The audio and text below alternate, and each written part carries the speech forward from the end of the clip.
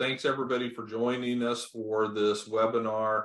You know, this a, a lot of webinars we do are kind of fun, kind of lighthearted, a lot of good information, good news to pass along. This one, uh, you know, we're going to have good information, but unfortunately, this is in response to some some pretty tough situations, some pretty tough conditions that are out there across the country. And it's not just localized in one area, and it's not all just because of the same reason. And so we just were hearing enough people having issues with failed cereal crops, primarily wheat, but we've seen a lot of this uh, with triticale. There's even been some rye fields uh, that didn't survive we wanted to put this together. So uh, I'll just introduce myself and then my my friends here who are on, and then just kind of set the stage, and then we'll get started. My name is Keith Berns. Uh, I am the co-owner and co-operator of Green Cover Seed. Uh, and with me today, uh, we have our contract production manager, Scott Ravenkamp. Uh, many of you know Scott. Scott has uh, great experience in being a farmer uh, in eastern Colorado. So you think you farm in a tough area? Scott knows all about that because he farmed for many years in dry land, eastern Colorado. So he's no stranger to failed crops, no stranger to drought, no stranger to winter kill and things like that. He has since moved to Nebraska and is working for us managing all of our growers. So Scott has the unique position of seeing and talking to growers across a wide geographic area. So he's in Northeast Nebraska, so we've got growers there and in South Dakota, but a lot out in Western Nebraska, Eastern Colorado, Western Oklahoma. And he's in touch with those guys every day. And so he's going to be able to bring some really good perspective of not only what's going on out there, but but some thought processes to go through. And then, of course, I think everybody knows Jimmy Emmons. Jimmy is our good friend from Leedey, Oklahoma, from Western Oklahoma out there. Uh, Jimmy's a farmer and rancher. And so he has, uh, you know, he's a veteran of many droughts, a veteran of many difficult situations of, of, fires and and all manner of things but he also has perspective way beyond western oklahoma uh, because he has had extensive experience working with farmers all across the country uh, served uh, under the Trump administration uh, with USDA as a farmer advocate. Uh, so he is no stranger to working with farmers and helping them think through issues and problems that they're facing. So I think we've got the right people on here that have a great width and breadth of experience to bring to the table. And before we get started, I just I just want to tell you a little bit about you know what this webinar is and what it isn't. Uh, number one, it isn't the place where you're going to get the answers that you need to solve your exact problem.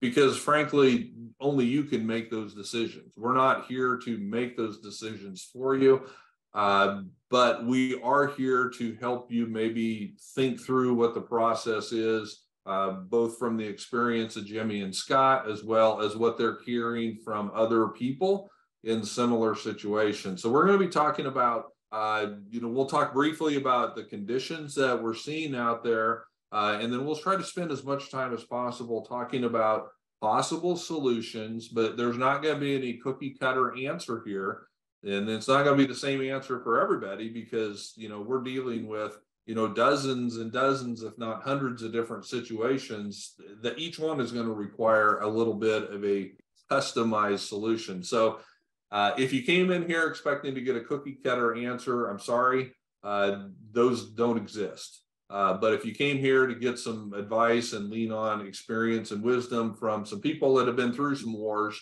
uh, I, I, think that I will be able to deliver that for you. So, Jimmy, I'm going to start with you. Uh, tell us just briefly, you know, in, in, both from your farm there in Leedey, as well as other producers that you're working with, uh, what are you seeing out there uh, as far as field conditions and uh, you know where's the crop at? Well, I'm, I'm going to use the word brutal uh, because we're in a, a, a D4 drought where we're at. A lot of these two and threes all around us. Uh, most of Texas is in that. Uh, Oklahoma, if you drew a line in northeast Oklahoma down uh, Oklahoma City, then south uh, into the river. From there west to north uh, is extremely dry. And the further you go, the, the worse it in, our wheat crop is, is failed. Uh, we had crop insurance. Uh, it's been released. Uh, where we had good cover, um, we're grazing that kind of lightly right now with some cows. Uh, we will be careful to not to disturb the, the cover much. Uh, a lot of producers have, have blowing situations now that we're uh, not no till, uh, and I don't expect that to get any better. We're under a big fire alert today, 50 mile an hour winds and humidities in the three to five percent range. Uh, and so from for me, west, east, and north up into Kansas, it's just brutal. Um, most everybody has failed. Uh, my rye, my barley, my wheat, all uh, is either dying or in, died already in, in, in tighter spots. So, uh, you know, it for me, the area around me, uh, everybody's saying it's worse than 11 and 12, 2011 and 12. And I agree. Uh, we're in a different cycle in a different time of year uh, when this hit. And so, you know, we uh, was hard to get up and struggle all winter, and then it just we just exhausted every ounce of water we had. So uh, tough conditions uh, right now, uh, but so far the, the good uh, people that had been no tilling and had cover uh, were still all right. Uh, I'm worried about the wheat here in the future as it dies in this this early age uh, that that residue is not going to stay long uh, after it dies. Uh, I've seen some people terminating, and, and, I wouldn't do that at all uh, right now. I yeah. just leave it alone. So that's kind of where we're at uh, here in, in, Texas and Southwest Kansas. Yeah, yeah, I appreciate that. We've been been hearing lots of similar things, and and great point on you know being careful about going out and disturbing that right now. We'll talk a little bit more about that later as we kind of think through you know what what considerations for the future do you need to be looking at? Scott why don't you tell us what you're seeing? Because you're working with people a little further north and even with some situations where the cereal crop has died, but not necessarily due to drought. So they may have some moisture to work with. So that's going to be a completely different uh, thought process. Yeah. Um, so I have family situations I've covered basically from east central Colorado to northeast Nebraska a bunch this winter from the time it was under snow to, to today. Yeah, we're facing some different situations in that area there's seems to be quite a bit of the cereals. I'm I'm just going to call it winter kill. I think, for the lack of a better term, some of it might have been drought, but we're even talking about irrigated production that that's dead, and not just in spots, but 95% dead. Um, pretty sure some planting dates played a lot into that, which goes into. I want to touch on this later, but you know, your decisions now affect what's going to happen this fall, and this is an example of that being able to get in a bit earlier to plant cereals is, is another way to get them to overwinter better, just to get some growth on them instead of trying to plant them in the first part of November. It, it the that line I've been driving a lot this winter is what I would call the snow line. I think it was kind of the snow line this winter. It, you know, it didn't really get down into Kansas too much. It is shocking how fast that moisture has disappeared, though. Um, even into South Dakota, I'm starting to hear that where they had a lot of snow. The we're, we're going to be back in a drought situation very fast, even in the areas that got moisture this winter, which I think needs to be a factor in your decisions on what you do now. It would, it, if it does not start raining soon, we're going to be in a pretty severe drought pretty quickly. And to hold off, to think you're just going to hold off and plant wheat this fall goes back to the word Jimmy's used several times already, cover. I think we're gonna we're gonna hear the word out of Jimmy and I a bunch today. The word cover is is kind of the key component to all decisions you got to make to get out of this situation. Like Jimmy said, even with limited water, if he had some cover, he got something to grow. That that's the linchpin to getting out of this is to get that ground covered back up. Yeah. So appreciate that. And and Scott, I know you and I have had this conversation. It's really frustrating on the winter kill issue because you know we've seen winter kill in a multiple different places and for kind of different reasons. Some some areas where you know, it was worse uh, with early planting and some with late planting and deep planting and shallow planting. So there's just a variety of reasons. And I don't think we want to get in and try to diagnose those right now.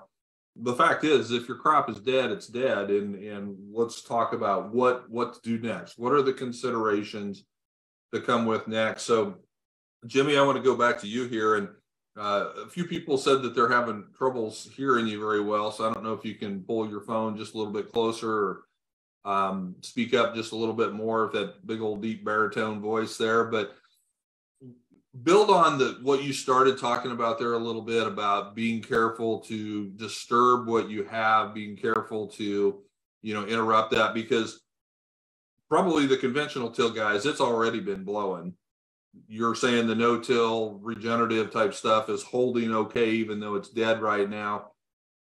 What what are you doing on your ground in in preparation for waiting for some moisture to do the next thing? Well, uh, we'll back up just a smidge here. We, we had got a little bit of moisture uh, early in the spring. I thought I had some moisture left in the profile at, at that time and planted some spring oats, uh, trying to get some cover uh, on uh, some milo stalks and ground and uh, planted some in some residue. I, I got most of that up except in the milo stalks. I probably got a half a stand because we just ran out of moisture in time that, that severe winds and uh, uh, the, the heat hit us early. Uh, and so now, as we look at the wheat, our, our strategy is going to be we're going to have significant uh, rain, at least a, maybe a two inch rain uh, to get enough water in the profile before we want to try to start planting. Uh, because we're afraid if we uh, disturb the residue um, and if we don't get a stand immediately, uh, we're going to lose that to wind and blowing because it's the severe heat We've been in the 90s. Today, we're experiencing 50 mile an hour winds, uh, 3% humidity. So even if you got a rain, uh, a lot of that's going to evaporate rapidly uh, with the weather and wind that we have. So we're, uh, going to try to be ready uh, for drill and equipment to go, uh, you know, when we can, as soon as we can. Um, but even a no-till drill, when you go through that residue, you, you slice some of that up, your, your tractor tires, your drill tires, or that, that residue is so brittle uh, that you risk turning that loose unless you can get something green and growing back pretty quickly. So uh, we're going to be on hold until uh, we get some rain.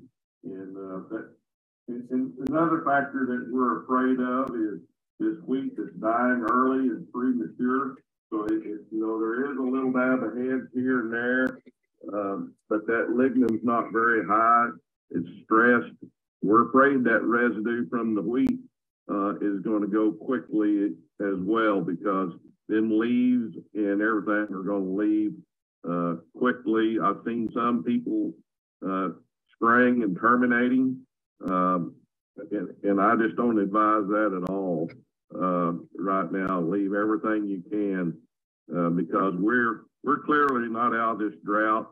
The climatologists that I've been talking to and dealing with are saying maybe late fall before you know this neutral from the uh, La Nina to El Nina gets in, uh, and then maybe late fall uh, we'll be in a wetter pattern, but you know, that's just a forecast. It's, yeah. that doesn't mean anything sometimes. Yeah. So basically, and it's not an easy thing to do, but just, you're just going to, you're going to just sit tight and wait. If you get a decent amount of moisture, then you'll consider doing a warm season, you know, some sorghum, sorghum based mix, millet, something like that this summer to try to, you know, get some cover uh, otherwise, you're just going to have to kind of wait it out. Is that kind of what you're saying? Yeah, and and I'm going to lean uh, more on the millets with with some sorghum in there because the millets are can stand a drought a little better than some of the sorghums.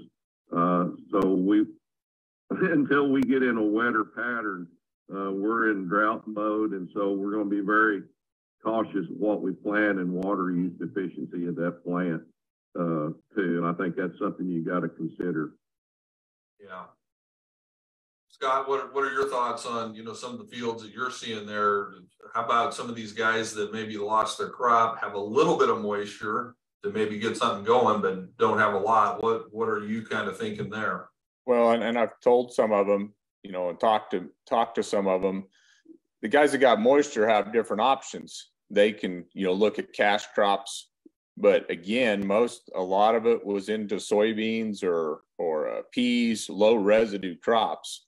Definitely discouraging them from going back to another low residue crop because some of that is what's led to our current situation is the lack of residue led to a lack of snow capture is what it looks like to me which possibly led to some winter kill just from a lack of snow cover on it whereas if you could get some residue built back up on that especially some standing residue that would help if they're wanting to go back and keep a cereal in their in their rotations.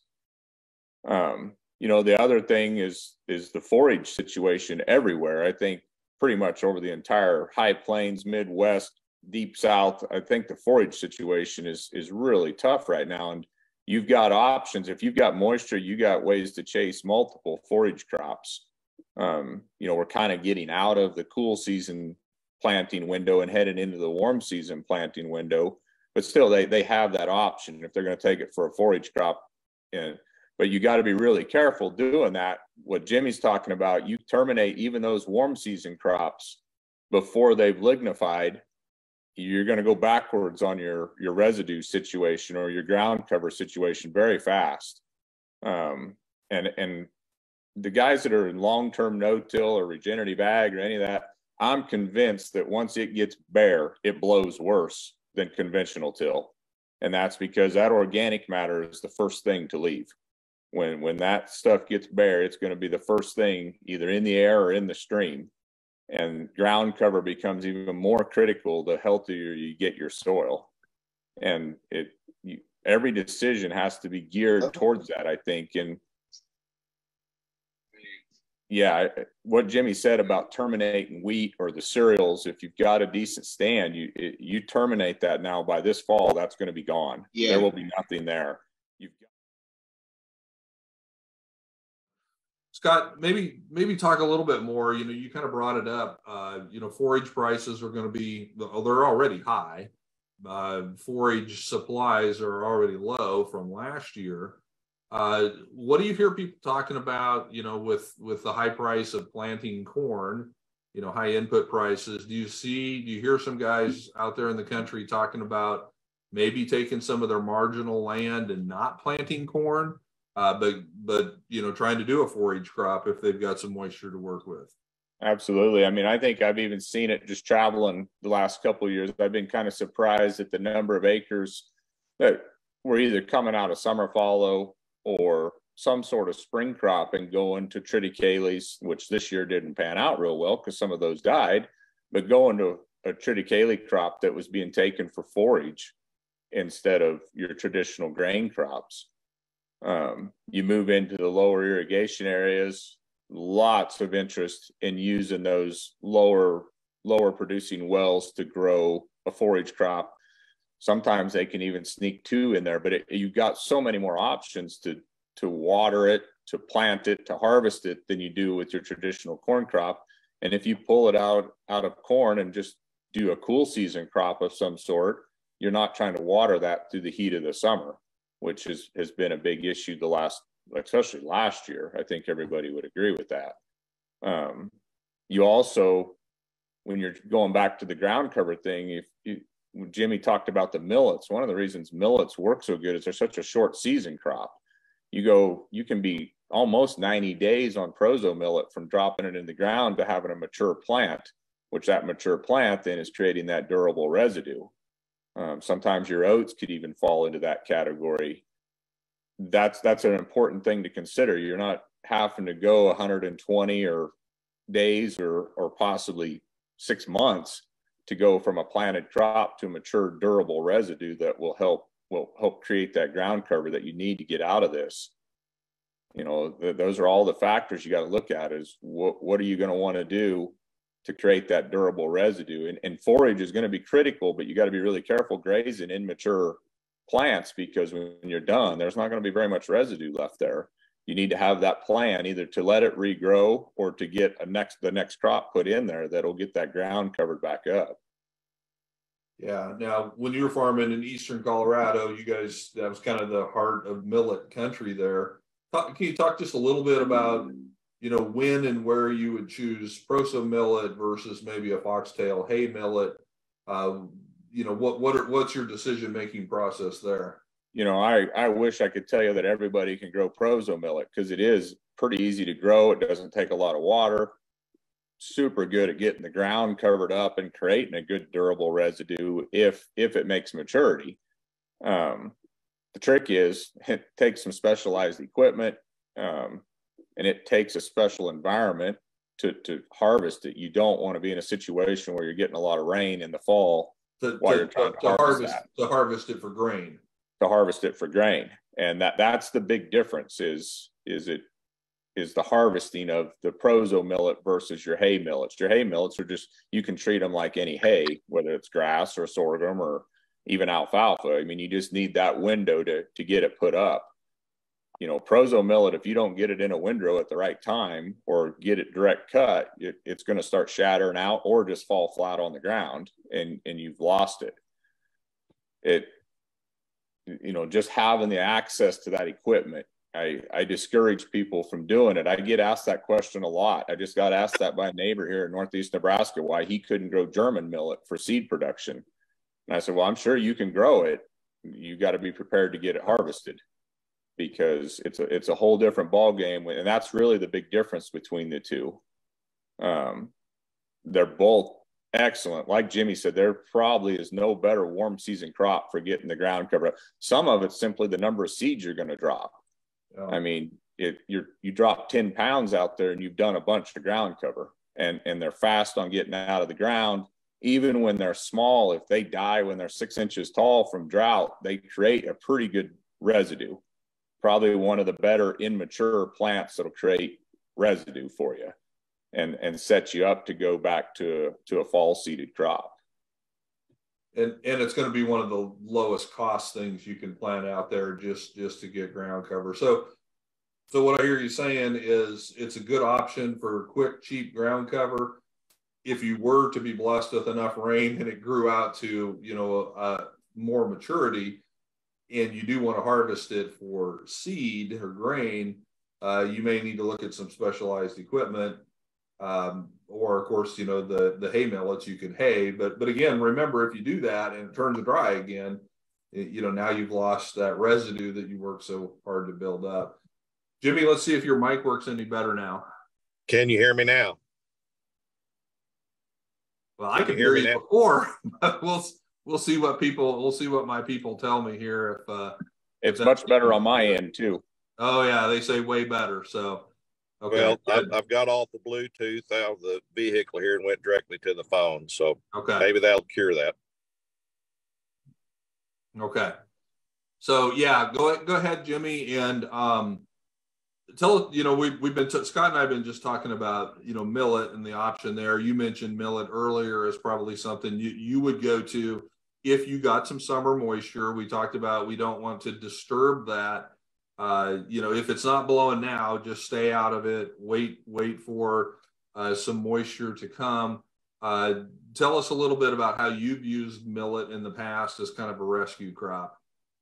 Yeah, like I said earlier, and I agree with Scott 100%. Uh, you know, they're so durable, uh, and it is seed size. You can throw a little bit out there. Uh, I like multiple species of millet, just kind of gives me that diversity in different heights and, and different quickness. Uh, but they're all really pretty quick how they get established. Uh, and I'll still put a little dab of sorghum and different things uh, in there uh, as well, but not not a lot because I really want to be water efficient uh, on that. So that's kind of what I'm I'm thinking uh, right now. And you know, if if I was had clean tilled and was had some blowing issues, and, and even some of the no-till guys are talking some blowing issues uh, in the lighter spots. Uh, when we get that rain, I would get on that just immediately uh, even if it's a little wet, so that you uh, you have that. It's it won't be so fine uh, on top. Uh, is what I'm thinking to do. Uh, especially my friends that, that are blowing. I've got a friend that's got 700 acres that's uh, buried the fences and into the road a couple of times on several quarters of, of real sandy ground. Uh, and, and that's my advice to him is get in that as quick as you can, get them drill furrows uh, up pretty, pretty tall if you can, uh, and then try to get something established uh, with that drill as quickly as you can. Yeah. So you're saying if it's already blowing, you probably won't hurt yourself by running the drill through it. Yeah, and once again, they're going to have to have significant rain uh, to do that. And part of the issue uh, down here in sandy loam ground, uh, you the clay is what's going to blow away first. It's lighter than the sand.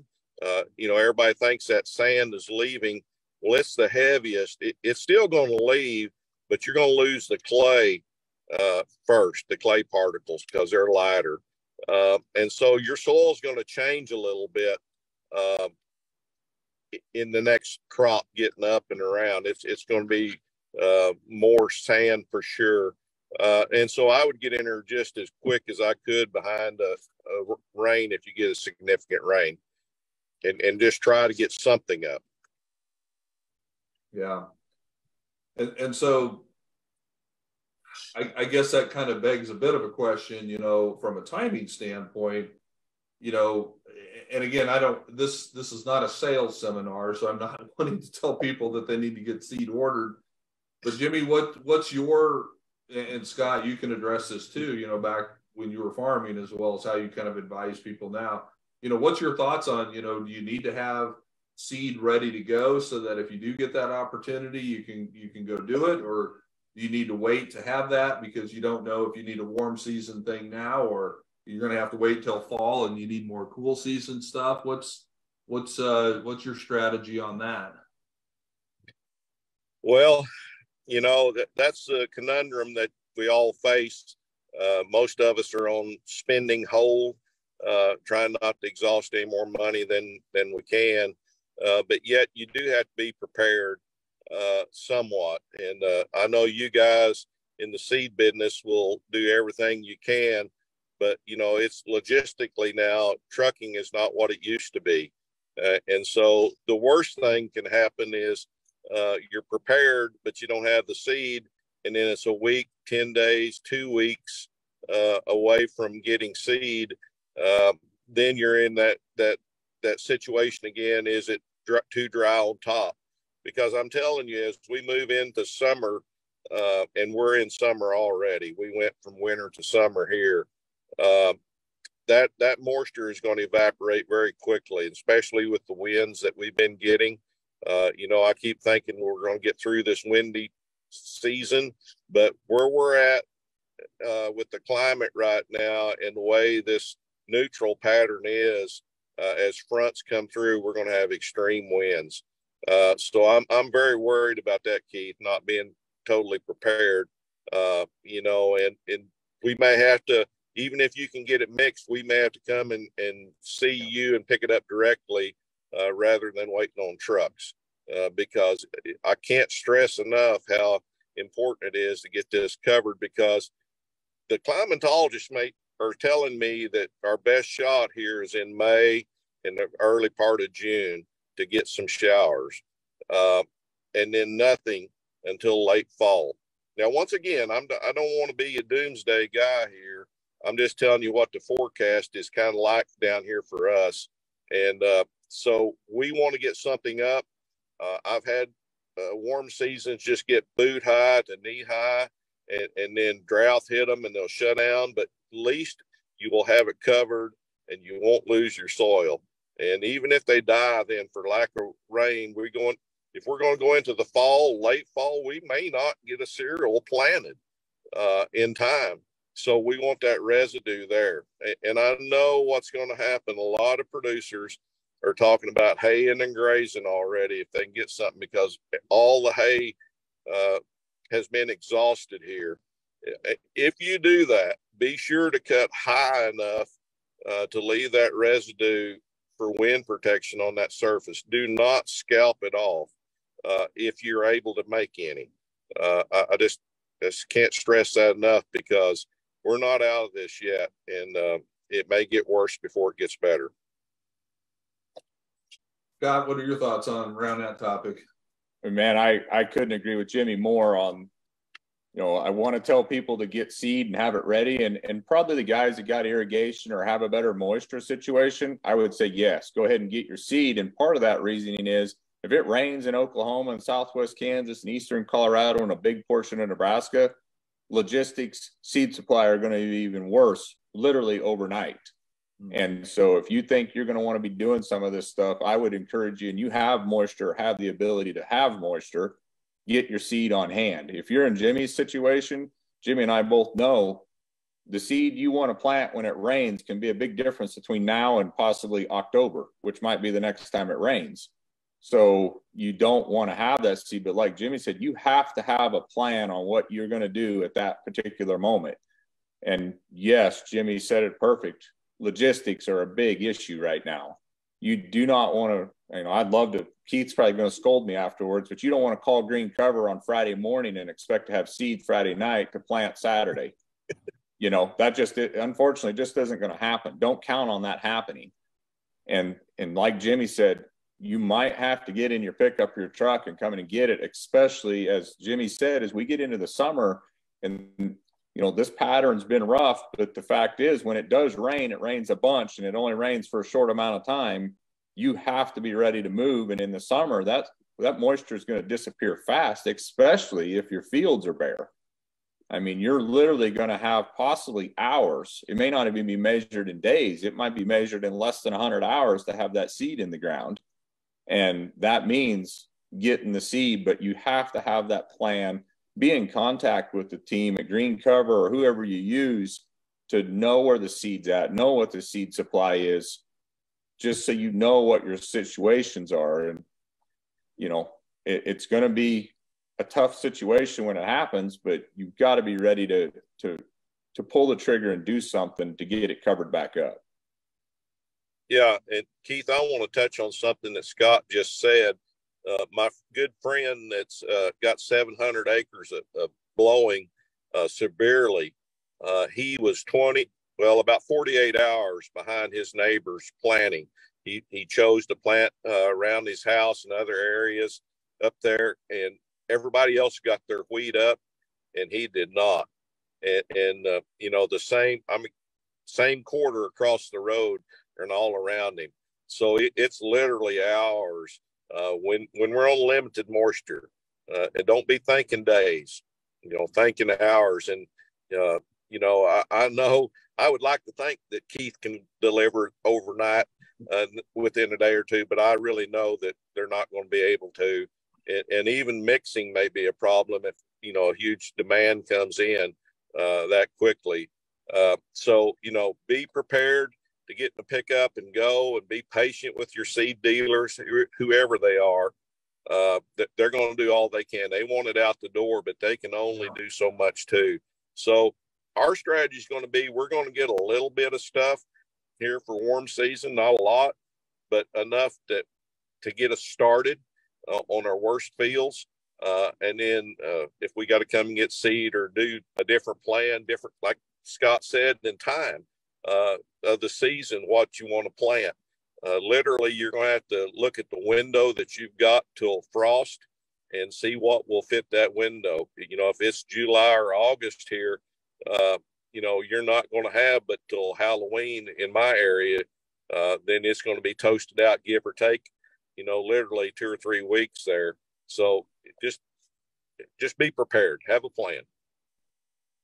Yeah, good, good, good advice for, for any situation, but but in this one in particular, um, we got a couple questions that we'll get to in just a second here. But Scott, you and I talked a little bit uh, too about uh, you know, the timing of everything and how important it is and how some of the situation that different people are in, and, and this may apply more to some of the winter kill. It, it, was more of a timing issue of when things got planted last fall. More so than the fact that it was just you know a really cold hard open winter. Now with drought you know you you you don't have much effect over that but but you can do things to change the timing of when you're planting and particularly a grain crop. Why don't you talk a little bit about that what you've seen uh, on uh, some of our triticale production fields and and what guys should be thinking about now to set themselves up for future success so so what i've told some of the producers i've looked at fields on is yeah it's a tough situation. You know it sucks. You've lost this entire field but in my opinion you learn the most in tough situations and take this opportunity to learn something. Like jimmy was talking about noticing the crops are you know alive anyway in ground cover. You learn something when you see that. You got to start asking yourself how do you get that across the whole field in this situations that I was looking at was, you know, it probably come down to a week or two's difference in planting dates. Sometimes it was some variety issues. Again, we need to learn from that and, and remember what caused that. And a lot of it is is our push for higher yields in corn and soybeans, especially, are pushing us to longer and longer seasons, which is pushing us to later and later planting dates on these cereals following them. Yeah. You know, what could have we given up on a yield on some soybeans if we could have pulled the planting date back two, three weeks on these cereals and, and got a crop this year with what it looks like is going to happen to these crops, the market could could be a little bit different. And that's again that learning factor. You you got to try to learn from that experience. What what caused some of the failure? You know, yeah, the weather played a big part in it, but the fact that there were alive plants out there tells you that you were literally inches away from making it work. What caused the plants to survive versus the plants that died? Yeah, and, and so that, that just goes to, you know, you almost need to be thinking a year ahead of this is where I want to be. And then you have to back up and say, what decisions do I have to make to get myself to that point? As opposed to getting to the point where you're going to plan it and it's like, oh, I'm going to be late. You know, maybe I'll take a risk on it, maybe I won't. Uh, but yeah, too many of us don't think far enough ahead and then and then you know back back think about what decisions do I need to make to get myself set up for that success or that point right there. I, so. I, I kind of try to describe it as quit playing tic tac toe and start playing chess. And and that you know, it's a tough thing to hear sometimes, but that's what it is. A lot of corn and soybean farmers are wanting to get cereals into the rotation, but they say they don't have a window, but it's because of a choice they're making to yeah. Or, just, or or they'll say they you know wheat can't pay for itself, but they're only growing 40 bushel wheat because they're planting yeah. it November 1st. Yeah, and exactly. So they're not they're not giving it a fair opportunity or a fair chance to pull its own weight. Correct.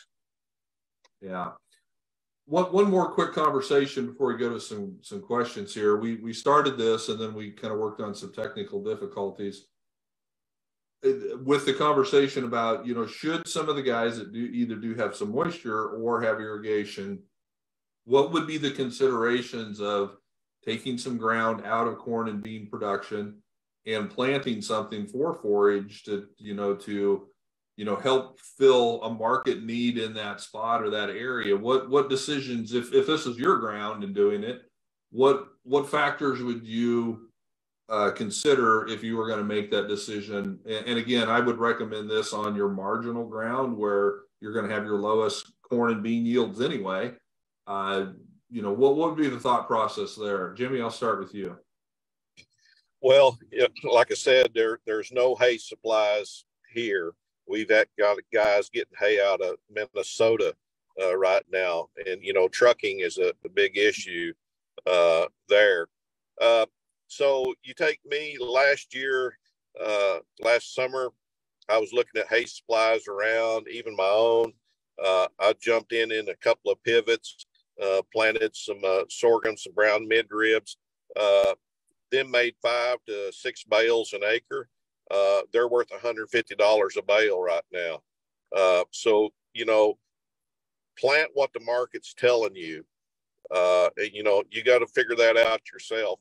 But th- there's going to be a big demand for for hay, feed, uh, for the cattle. Even though we've exhausted a lot of animals out of out of the country here, as we start getting into the rain period, them animals are going to come back for people to have cash flow. Uh, so, you know, look at them markets and and and, and talk to some hay brokers and, and try to set up some uh, uh, deals if you can and, and be prepared. Uh, if you're not in a pivot situation, you know, you're going to have to once again uh, look at that window when the rain comes uh, and and be careful of what you plant uh, and and look at that frost line and dates uh, to see what you can grow in that window. Don't plant a 100, 120 day crop uh, that you're only going to have 75 or maybe 90 days uh, to maturity. So, you know, just just plan the best you can is is what I can say.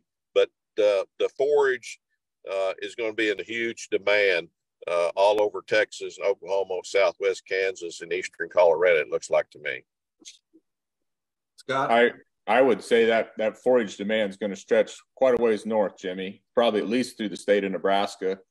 Um, boy, I tell you, from what I've seen driving around, you know, we're not even touching on this subject, but what what's happening to our quote unquote native rangelands through this drought? And so I, I'm trying to get people to look at it from a multi-level perspective. You know, if you've got a little bit of moisture and you can grow some forage again, don't take the whole farm out of crop production right off the bat. But you know, I'm a fan of trying to figure out how to graze it. If you got decent water and moisture and you can do it with multiple crops or multiple cuttings, you know, you have an opportunity there to do something from a soil health perspective. You can go from a two or three crop rotation, where if you plant a diverse cool season mix, take it for forage, come back with the diverse warm season mix, you've now went from a two or three crop rotation to a possibly 15 or 20 in one year by putting all them species in. there. So just from a soil health perspective, what you can do on those fields, you can somehow try to implement grazing on those acres you could take one acre of cropland, and I'm just using this as rough numbers, take one acre of cropland and graze it through the summer somehow, pull cattle off of your native rangelands, you're now affecting 10, 20 acres on your operation or your neighbor's operations. That rangeland is going to need recovery time in the summer, not in the dormant winter season to recover. And, and there are millions of acres of rangeland are severely overgrazed right now you know, yes, they're talking this drought's going to break, but if it's in September and October when it breaks, guess what that does for our rangeland? Not a whole lot until next summer.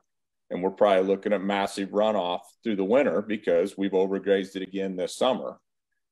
My experience in Colorado, that was the, the thing we didn't even think about when we started messing with grazing diverse cover crops in the summer, especially was the ability to pull the cattle off of the native rangeland in the summer even if it was only for four or six weeks, what that did to the grass in a short amount of time, in two or three years, the difference that made on our grass. And then stockpile grazing stuff in the winter, again, pulling them off the grass in the winter so we wasn't just trampling it all winter while it was dormant. It was, again, you got to look at that from a multi tier aspect of what else can you affect by making this decision on this one acre. Yeah, good point you know, as a general rule, and this varies a little bit from crop to crop, but as a general rule, it takes about 50% of the water to grow the majority of the vegetation of a plant, and the other half of the water to actually fill the grain heads and take it all the way out to maturity. Well, if you've only got half the water, why not grow the forage and and utilize it either as you know standing grazing, stockpile grazing, or you know in in situations you could you know, put up forage. It may be an option. Scott, you mentioned earlier, you know, some of these guys in water limited areas may not have enough water to grow a whole pivot of corn. Might be able to grow half a pivot of corn and half a pivot of a grazing mix. And, and, you know, you give the grazing mix a, a drink when you can. And if it doesn't, well, you know, it's probably worth the risk of, of just letting it lay fallow. So, um, yeah, lots of good things to consider there. Let's go to a few questions here. Um, let's see. Uh, Mike's asking, how do people who raise cattle make money when paying $150 per roll of hay? The answer probably is, is they're not. They're not going to make money doing that. They're just trying to keep the cattle alive. I would assume there, Jimmy. And and that, you know, and that's a whole other conversation. you know, if if you didn't have a drought plan already in place, you're way behind the game already and trying to make a drought plan now as far as, you know, do you liquidate, do you send them off somewhere else, you know, what do you do? That's the importance of having a drought plan ahead of time, but Jimmy, what what are people around there doing? Are they are they liquidating numbers or are they just paying for the hay? Well, most of the guys, uh, you know, Ginger and I sold 150 cows uh, last uh, August, uh, anticipating uh, this drought getting worse. Now we bought a few back, uh, about half of them to kev out. We're going to have to turn around and sell them now, but I think I made a little dab of money. Most guys don't want to give up their genetics. Is, is you know you sell down the the cull cows, the older cows, the, the open cows, the the the, the hard keepers uh, once you get down through all of that scenario, the last thing I want to do is sell every cow on my place and then try to replace them when I've got my cattle uh, acclimated to my area, uh, much like you would have a seed crop. Uh, mm-hmm. and uh, so I don't want to liquidate all of them. You know, I want to take care of the grass and all. Uh, so some of them guys that are paying that type of money, uh, that's what they're doing and trying to stretch it out a little bit and just don't want to get rid of their genetics. Yeah. And, and again, you know, that's a, like I say, it's a whole nother seminar. I've heard some really good ones on this, but you know, just having a drought plan in place ahead of time so that when this does happen and it's, it happens, you know, to everybody, you know, from time to time, uh, some, some people more often than others, unfortunately, you you can start to en- enact your plan. Uh, we got a question here from Vanessa. Uh, she says, "I'm a landlord. My question is this: Our Western Kansas section failed due to drought, and my farmer there says there isn't enough moisture to put any cover crops in the ground. Should we just leave the wheat there for cover, or other thoughts?" Yeah, I would leave it there uh, until you get moisture uh, to do something different. Let it grow. Uh, that in that area, uh, that's a brutal area in a D four right now. Uh, I mm-hmm. would leave it, Keith. Yeah, they're essentially they're in the same situation that you are, Jimmy, and and that's what you're doing. You're just you're just leaving it uh, as long as it's not blowing. You know, hopefully that wheat will hold on as long as it can. Uh, yeah, just just kind of let it roll there. I think. I would add to that, Keith, they just got to be ready to pull the trigger. And, you know, if it's not worth harvesting, just when it rains, get everything terminated, the weeds, whatever you got out there at that time, get it terminated, preferably by no-till in my in my mind, because you want to leave that residue and then be ready to get something put back into it at that point. You know, don't don't think you're going to just leave it and go to Milo next spring. Yeah, uh, Jimmy, we got a question here from Annette. Uh, she says, when you are grazing failed grains, in addition to not taking too much through grazing, too much of the residue, uh, should we be trying to paddock the pasture so animals will trample and lay down the rye triticale stems to cover the ground? You know, so in other words, do you do you also change your intensity or duration on those acres if you're grazing a failed cereal, assuming that there's enough there to graze? So I'm kind of torn on some of that, Keith. Uh, trampling down, getting that cover on the ground is is is good. Uh, it helps you keep shaded. It, it helps you hold that moisture in. Uh, but we're also in a windy uh, time period with this changing, uh, and so, Annette, I, I would probably say a little of both. Uh, make increase your intensity some, but leave some of that a little of that, maybe 20% standing up, because you can't believe how just a little obstruction standing up will help you uh, and to keep your residue from blowing away. Because if you lay all that down, uh, eventually the, the microbes are going to kick in. They're going to take care of that root mass, and it can literally blow away uh, once once that happens. So you know, just a little obstruction sticking up will really help. So in other words, possibly as you're laying out your paddocks and stuff, just just skip 15, 20 feet and leave that ungrazed as almost a snow fence or a windbreak type fence situation. Yep. Yeah, it's good advice. Scott, have you seen people doing anything similar to that, or what's your thought? I've never seen anybody leave strips. I've planted strips in the middle of the summer of sorghums in large fields to try to create snow snow catches on bare ground. You know, I, I agree with Jimmy. It becomes a, a game of yeah, you want to feed your microbes, but you also don't want them to eat it all. And so you want to do everything you can to keep that residue away away from the microbes on the soil. They're going to eat the bottom off the way it is. Don't encourage them by putting the whole thing down there you know, it's part of the reason stripper heads are so popular. It's a part of the reason you see in tougher environments guys not using knives on their corn heads to keep that residue away from away from the soil. And and one thing, Keith, uh, when I was talking about leaving twenty percent, lessen your intent, uh, intensity and just don't trample it all in. Because leave some of it standing up. Maybe you don't want to leave a strip, but leave ten or twenty percent of that don't trample it all flat. Yeah, and you can also change that a little bit by uh, as that, especially the cereals, as they get more mature, they're not going to want to eat those anyway. They're going to strip the leaves off of it, and then if you just move them and don't force them to be eaten on it, it'll leave more and more of it standing. Yeah, especially if it's rye. You know, as rye gets mature, it becomes pretty unpalatable, but it still makes great cover. Yeah. So Keith, one thing that we haven't talked about, uh, and, and, I know that's a big situation. Uh, hear a lot of from the cotton guys in the in the Texas Panhandle uh, and down even to Lubbock. Uh, here's their conundrum: uh, that they've had ground blowing, they a lot of bare ground down there, uh, but crop insurance uh, is, is going to force them to plant uh, that crop if they want insurance on that. Uh, this is not an easy one because everybody needs a little re- you know revenue to survive. But please uh, consider the damage to your soil. Don't make it worse. Uh, you know, some of it's not blowing in that Lubbock area yet, but them guys are really concerned if they go in there and plant uh, that it'll turn loose. so sometimes uh, it's it's it's better for the soil and, and your farm to lose a little of that revenue of insurance uh, versus it blowing completely away.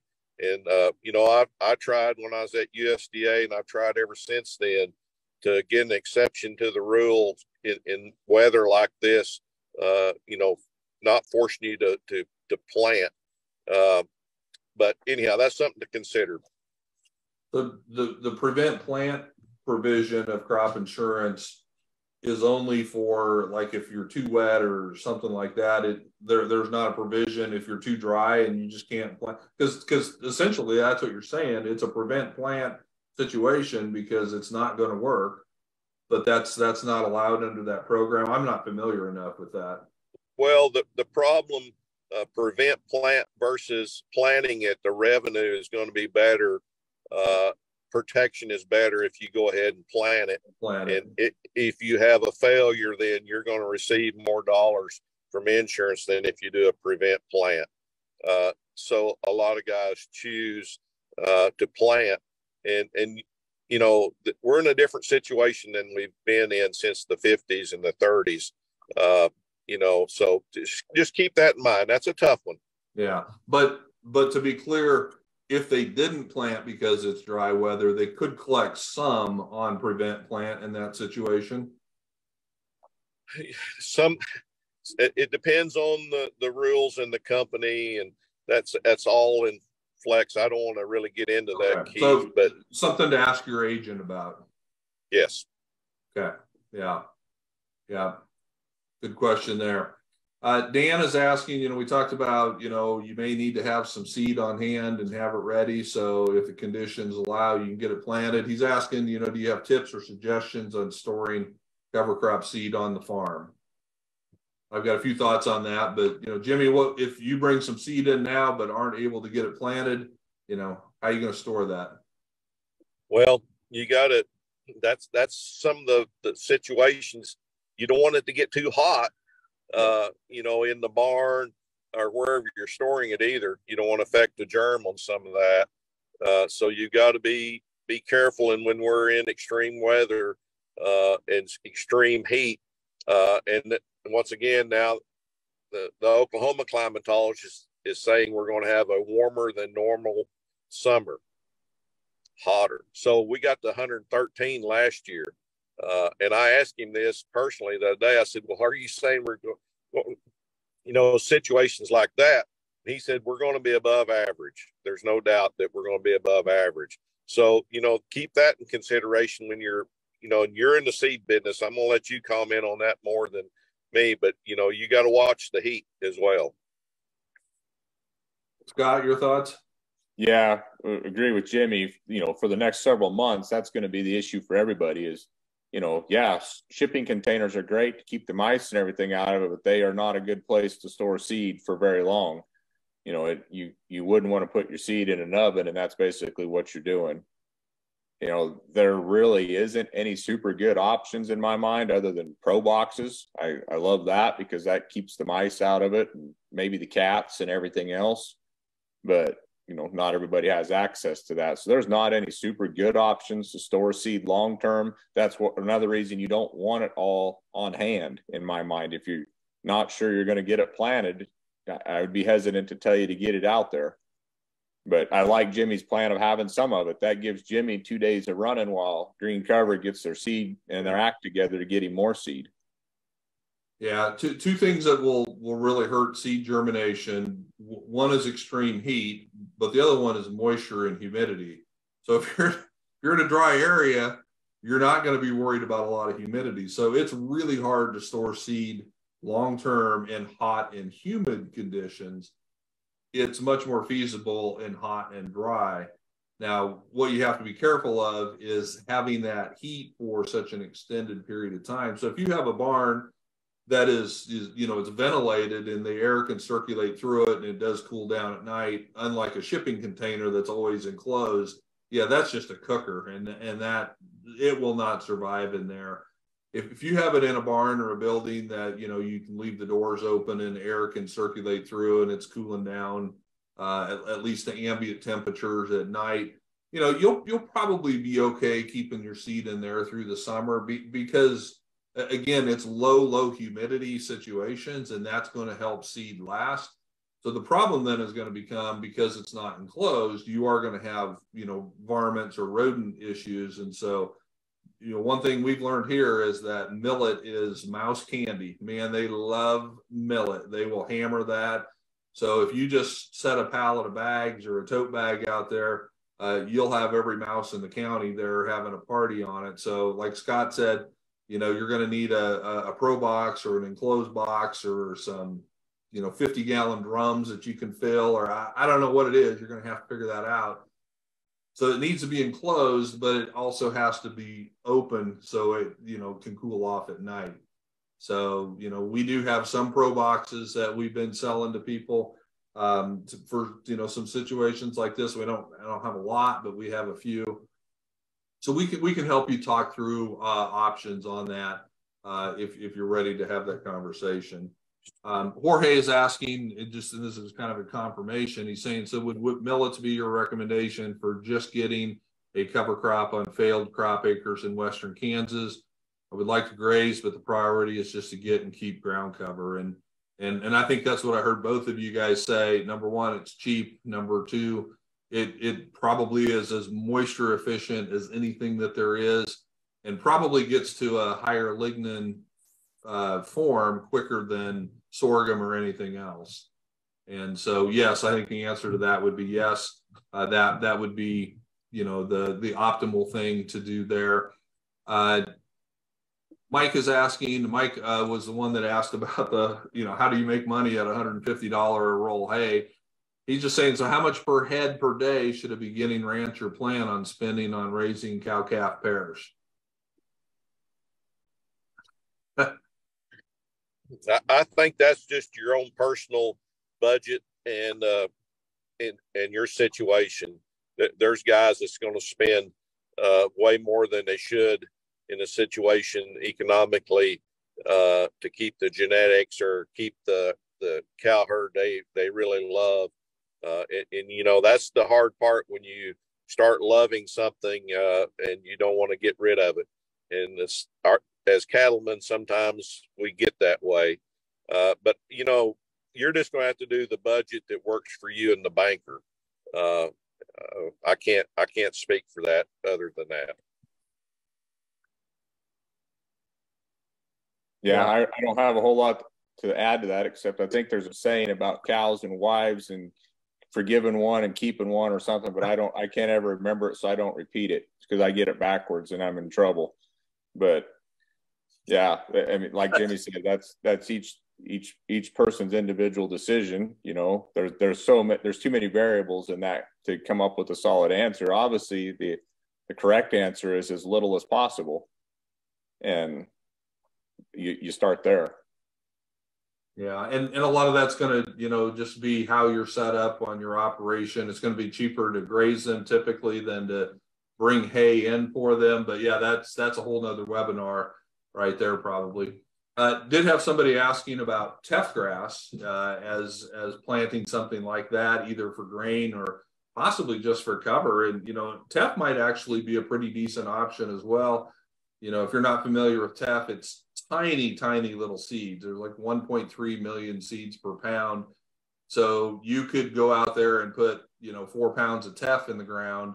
And if you got caught a little bit of rain, it will it will start on less rain than anything else. The question is going to be though, it will get started, but if you don't get something to help it out, it's not going to continue. So teff would be an option. Uh, it makes great hay. You can harvest it for grain for the flour market. Uh, that's that's not a huge market, so you'd have to really kind of make sure you knew what you were going to do with it. But you could grow, you know, for ten bucks an acre, you could grow a lot of teff cover if you caught a little bit of rain. So it, it would actually be something similar to millet. You have to really be careful though that you don't plant it too deep. I mean, if you get that in the ground more than more than a quarter of an inch, it's and it's going to struggle to get going. So teff would be an option. I don't know. Have either one of you had you know done teff? Yeah, I've done teff, but you just you just laid out the scenario. Uh, here, if you got pretty bare ground and, and evaporation rates and only a quarter inch deep, uh, you know that moisture is going to go away quickly. Uh, and that's the reason I said a while ago, if I was planting millets, I would put some sorghum in that uh, as well, so I could plant a little deeper uh, with the millet seed even uh, and use that that partner that companion to help you get up and out. And and that would be my concern on the teff is you know how do you get it up and how does it survive uh, in this arid uh, heat stressed area right now? It'd be it'd be great if you could get it up and get it to grow. Uh, it's a good hay product and, and can stand a, lot of heat and uh, a lot of lack of rain. But that would be my concern getting it up. I always remember uh, when Dwayne Beck and Dan Forgey and the guys up in South Dakota were playing around with teff and growing teff. You know, Beck Beck had the concept. He called it planting shallow at depth. And so what he would do is he'd take his John Deere drill or whatever drill he had, and he'd set it for like three quarters of an inch deep, which would be way too deep for teff. But then he'd take a bungee strap and he'd tie the closing wheel up so the closing wheel couldn't run. So he's getting that seed down there at three quarters or even an inch deep where there was some moisture. But because he was not closing the trench, it was essentially like it was planted an eighth of an inch deep. That will work pretty good. The thing that would would really wreck the heck out of that is if you get a big heavy rain and it collapses that trench in on top of that teff it's probably not going to come up. But that might be a risk that's, you know, if you got some moisture there at an inch, you could plant your teff an inch deep. You don't close the trench and then let that teff come up, you know, from just a very shallow covering because there's a little moisture and it's protected from the wind down there then too. And so that that can be that can be a, a, a way to do it. Uh, I know we're going a little bit over time. I just got we got a couple questions on perennials, and then we're going to wrap it up here, guys. Uh, so one one uh, watcher is asking if you have recommendations on a crested wheat perennial pasture that's losing yield every year. Uh, should he plow it uh, under and start over, or is there things he could interseed into that? Scott? I'm not a perennial expert, other than I believe there's a huge latent seed bank in perennial pastures, especially na- anything that's had native in it, that if given the proper management from a grazing perspective, will regenerate itself without very much seeding. Now, again, I'll probably get scolded working for a seed company telling you that, but that that's my feeling on perennials is just give them an opportunity and it, you'll be shocked at what can happen. That's tough in the current situation. Um, I, I don't have any personal experience tearing perennials up and trying to reseed them though. I, I don't know what you do, especially, you know, without knowing your moisture situation and everything. It's hard to tell somebody to tear up a perennial ground cover in a drought. No, I, I would not do that at all. Uh, personally, I would not do that. I wouldn't tear anything up uh, right now, and uh, I'd wait uh, and and come back with Plan B once we get water. And then if you want to drill something in that, then you have that option. But I wouldn't tear anything up right now. Yeah, I would agree. And and you know, you could probably experiment a little bit on this. You know, like Scott said, we we have seen remarkable changes in perennials simply by changing that intensity. You know, take take an area if you can fence off you know, five acres and you graze all your animals on that really intensely for a couple of days and then move them off and, and, you know, don't let them back on there for a whole year. See if that five acres is different than the rest of the field. Uh, you could also take five acres if you wanted to try to interseed something this fall, if you got any moisture to work with, you know, you could interseed some, some clover and some alfalfa and some other cool season grasses but but do it on you know four or five acres. You don't have to do it on the whole field to see if that's going to take because it's expensive to reestablish perennials. So uh, do your homework, and part of that homework is doing some experiments like that to see if it's going to work. And and to kind of close this out here, Matt's asking another perennial question. Uh, he's got a 15 year old stand. He's in the Flint Hills, uh, Kansas. He's got a 15 year old stand of Max Q fescue that appears to have been killed from dry conditions. He's got a little bit of brome and fescue that have greened up, uh, but this particular field hasn't. He's considering drilling in a warm season annual into it for grazing this summer to create some cover and then go to a cool season perennial mix this fall. He's just asking, is that is that a decent game plan? Uh, you know, we can talk to him later about a specific mix he would suggest, but you know, what do you think about that game plan of, of doing some warm season annuals into kind of a, a droughted out uh, perennial mix? I, I, like that idea. You know, once you get the rain, get some cover back in that. Uh, if you got the window to do that in, I, I like that idea. Yep, agree. You know, and it and it would give you an option if you can graze that warm season annual to change your grazing on some other pastures because the production could could be fairly significant on those acres.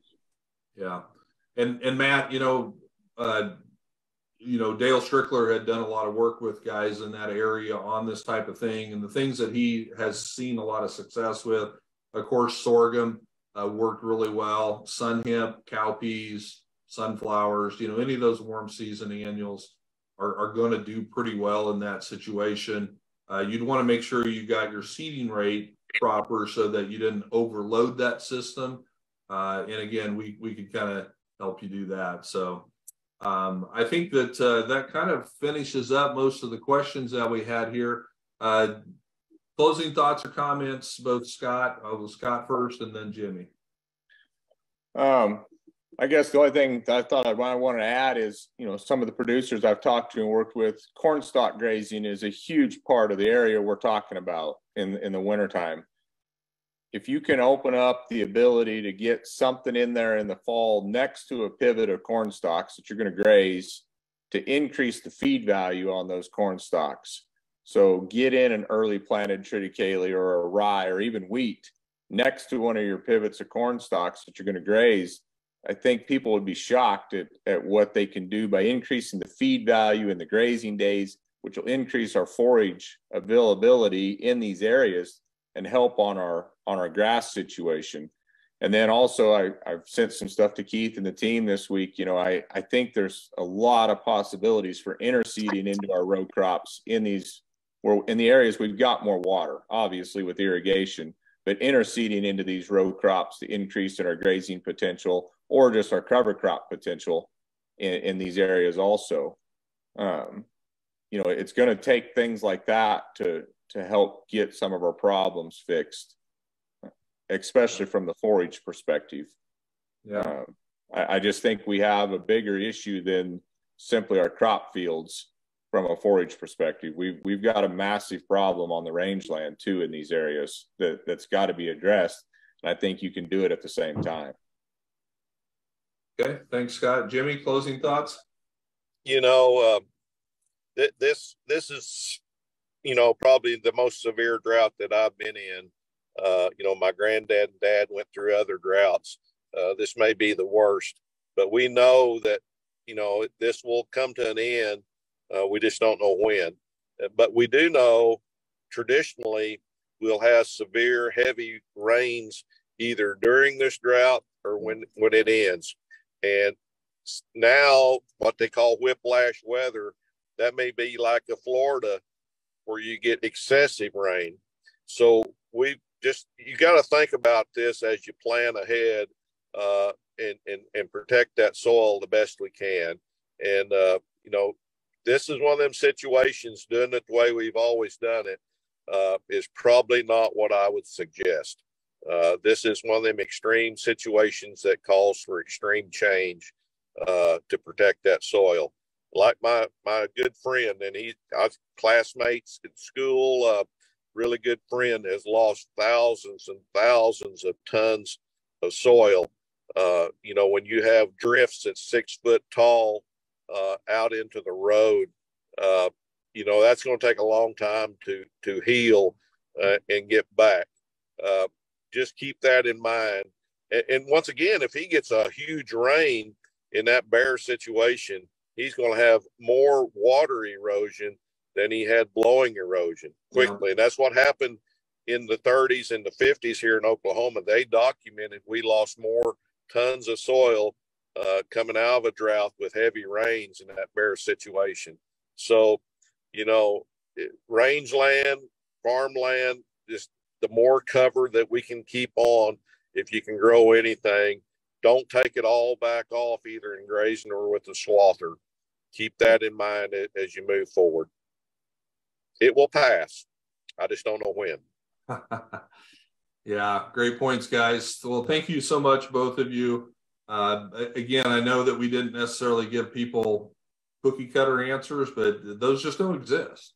And so hopefully some of, of what uh, was discussed here will at least help people's thought processes as you go through the difficult choices ahead if you're in uh, the drought situation or you may be headed into it uh, because that area is definitely regrowing again. It seemed like that drought monitor had shrunk for a short period of time.